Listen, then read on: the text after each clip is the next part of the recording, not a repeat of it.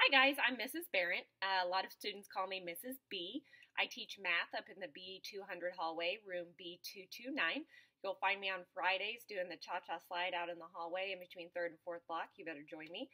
I teach elements of geometry, geometry, math analysis and trigonometry, and AP Calc.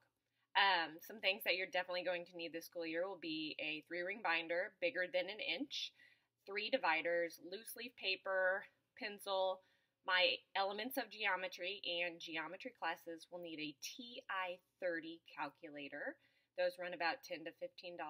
You'll want your own this year for sure. And then my math analysis and trig classes, we will uh, check out calculators through the school. They are TI-83 graphing calculators.